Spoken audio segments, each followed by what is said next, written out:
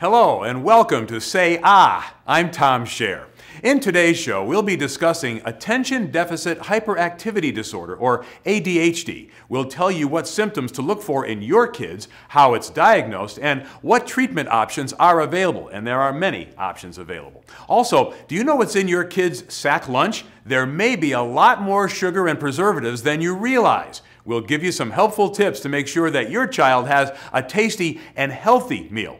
And if you have trouble finding time in your day to exercise, and don't we all, you'll want to see this. Our resident fitness guru will give us some simple exercises you can do at home or in your office to help you lose those extra pounds.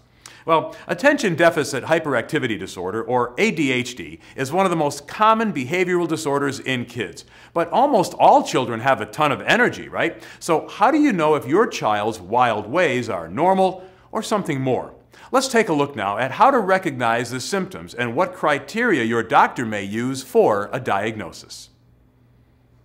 And if you think your child may be suffering from ADHD, talk to your family doctor and try not to feel discouraged or hopeless because if diagnosed and treated properly, a child with ADHD can lead a happy, productive life. Well, there's no shortage of options to fill your child's sack lunch, but how much nutrition are they really getting in there? Our resident nutritionist is here to give us some tips on how to pack a healthy lunch for kids. It's Vanessa. She's back. Good to have you here again. Thanks so much. Vanessa, the question I always wonder is how often does it happen uh, that kids are given a lunch that isn't healthy, though the parents or whoever is giving it to them may think it's fine? Is how big a problem is this? It's pretty common. You know, those those sugars are, are hidden in things that you realize it's in. So again, you want to be really uh, cognizant of those nutrition labels and making sure you know how to read them. What are some of the biggest culprits? Not not the parents, but the actual ingredients in the lunches, the things which we tend to miss High fructose corn syrup is in everything. Want to make sure that when you're reading those labels, you look out for that. You know, make sure that you really keep that to a minimum, and if possible, taking it out altogether. Now, now what is it with high fructose corn syrup? I mean, it, it seems to have not even existed 20 years ago. It was basically invented at some point. Yet we've been hearing about it for 10 years. Why is it still an issue? Why don't more people get it?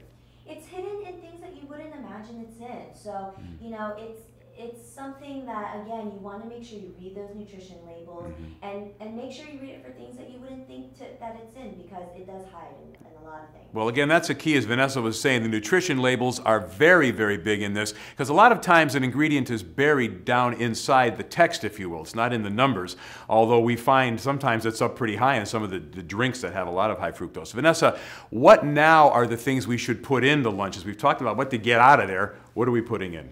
You know, you want to make sure that you have some healthy substitutes and, and really not taking out any of the taste, but putting in some more nutritious value. So substituting uh, wheat bread for white bread mm-hmm. and um, think, just little changes like that will, will really make a difference. Well, nothing you've said says no to taste, so the kids will still probably like it. They won't even know it's better for them. Exactly. Yeah, good point. Thank you, Vanessa, very much. It's good to have her back with us, and she'll be here again next week. And you can also find Vanessa's sack lunch tips online at www.livewellhd.com.